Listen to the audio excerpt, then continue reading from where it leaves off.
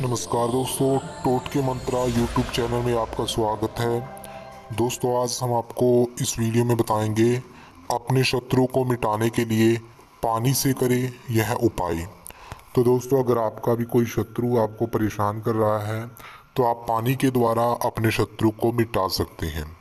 दोस्तों, कहते हैं, अगर कोई व्यक्ति बिना किसी बात की आपसे शत्रुता रखता है, आपका दुश्मन बन जाता है और अपनी शत्रुता को वो आप पर जादू टोना या कोई गलत छाया डलवाता है तो आप कुछ उपाय ऐसे कर सकते हैं जो दोस्तों उसका बहुत कुछ बिगाड़ सकते हैं और आप बच सकते हैं अपने शत्रु से। जी हाँ आज हम आपको आपके दुश्मन के खिलाफ करने वाला एक ऐसा उपाय बताएँगे, जिसे करने के बाद आप अपने दुश्मन से छुटकारा पा सकते हैं, आपका दुश्मन मिट जाएगा। आइए जानते हैं दोस्तों उस उपाय के बारे में।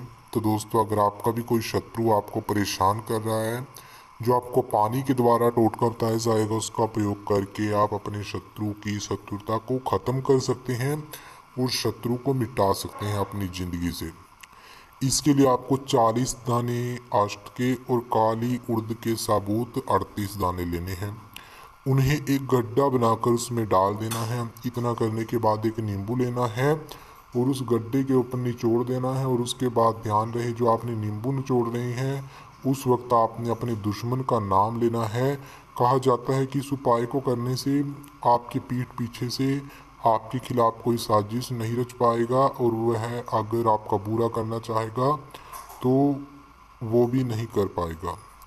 इसी के साथ दोस्तों, अगर आप पानी के द्वारा जो टोटका है तो दोस्तों, उसमें क्या करना है? आपकी दुश्मनी किसी के साथ अगर हो गई है, आपस में विवाद बढ़ता ही जा रहा है तो आप कहीं भी बैठे हो, अगर वहाँ पर पानी है तो उसी पानी से अपने शत्रु का ज़मीन पर नाम लिखकर उसके ऊपर पाँव को तीन बार रख दें। कहा जाता है कि ऐसा करने से शत्रु नाश हो जाता है, लेकिन इसी के साथ एक बात का खास ध्यान रखें कि इस उपाय को करने के फ़ायदे के लिए बिल्कुल भी न करें।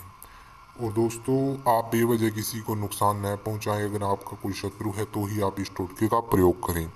तो दोस्तों, अधिक जानकारी के लिए दिए गए नंबर पर कॉल करें, वीडियो को लाइक करें, शेयर करें, यूट्यूब चैनल को सब्सक्राइब करें। जल्द मिलेंगे नए टॉपिक के साथ। धन्यवाद।